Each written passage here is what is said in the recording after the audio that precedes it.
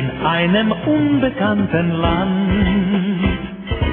Vor gar nicht allzu langer Zeit war eine Biene sehr bekannt.